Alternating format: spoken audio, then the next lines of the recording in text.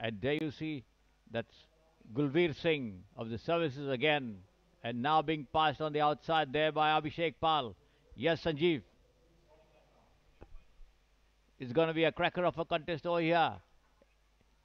It is Gulveer Singh in the lead over there, being tracked there by Abhishek Pal. With Kartik Kumar fading back into third at the moment. There he is, Gulveer Singh.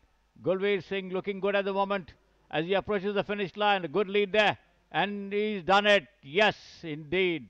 And that's Gulveer Singh, the winner, with Abhishek Pal second and Kartik Kumar finishing third. A desperate lunge over there to take the second spot, but unfortunately for him, could not make it after leading for most of the race over here.